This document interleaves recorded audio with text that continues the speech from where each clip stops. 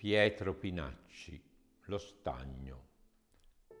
Una libellula dorata si è posata sul tuo sguardo.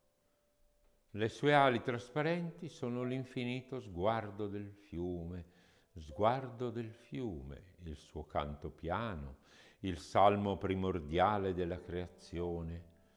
Nello stagno, tra erbe, sassi, fiori, si consuma il suo giorno, bagnato di rugiada, o di rugiada trapela un amore, un raggio di sole, sfiora il corpo inerme, sazio di nulla, si posa sul tuo sguardo, un attimo di te si spegne nel bisbigliare antico dello stagno.